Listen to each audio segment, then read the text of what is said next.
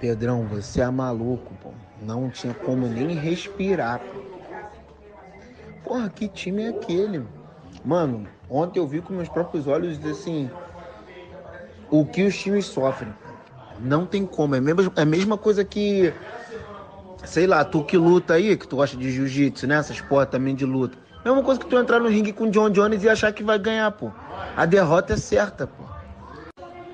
Porra, Pedrão, vou te falar uma parada. Definitivamente não dá. Mano, os caras, tipo assim, é muito ensaiado. Eles ficam falando um bagulho que tu não entende nada.